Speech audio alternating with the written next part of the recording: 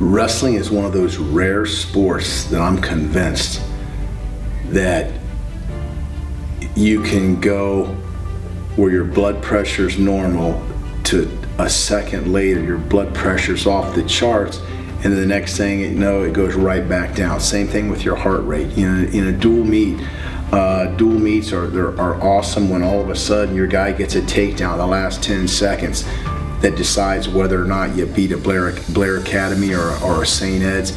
And but on the other hand, it can work just the other way as well. So emotionally, wrestling is it's not it's not like this. It's it's like a roller coaster in my book. You got your ups and you have your downs, you know. And uh, as a coach, uh, it's fun. It's fun. It's fun when that roller coaster is on its high, but it, it sure stinks when it's down when it's down low. But uh, emotionally, it's just a it, it is it's a it's a crazy crazy roller coaster. But hey, you gotta love to enjoy the ride.